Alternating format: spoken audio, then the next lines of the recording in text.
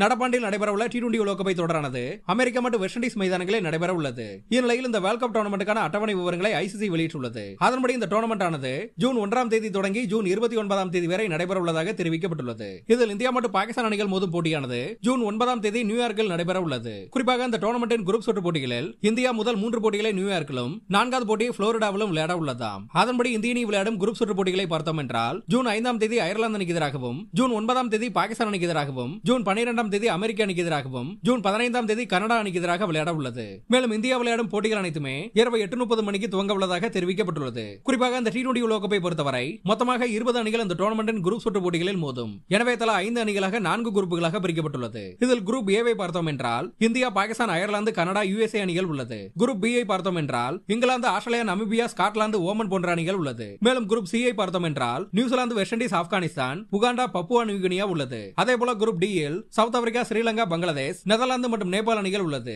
மேலும் குரூப் சுற்று போட்டிகள் ஒன்று முதல் பதினெட்டாம் தேதி வரையிலும் இதில் ஒவ்வொரு குரூப்பிலுமே இரண்டு அணிகள் தகுதி பெறும் பட்சத்தில் அடுத்து நடைபெறும் சூப்பர் எயிட் சுற்றுக்கான போட்டிகள் பத்தொன்பதாம் தேதி முதல் இருபத்தி நாலாம் தேதி வரையிலும் செமிஃபைனல் போட்டிகள் இருபத்தி ஆறு மற்றும் இருபத்தி ஏழாம் தேதிகளில் ஃபைனல் போட்டி இருபத்தி ஒன்பதாம் தேதி நடைபெற உள்ளதாக தெரிவிக்கப்பட்டுள்ளது. குறிப்பாக இந்த டோர்னமெண்டின் முதல் போட்டியில் அதாவது ஜூன் ஒன்றாம் தேதி அன்று அமெரிக்கா மற்றும் கனடா அணிகள் மோத உள்ளது. மேலும் நடப்பு சாம்பியனான இங்கிலாந்து அணி ஜூன் எட்டாம் தேதி அன்று ஆஸ்திரேலிய அணியை பர்படாஸ் மைதானத்தில் எதிர்கொள்ள உள்ளது.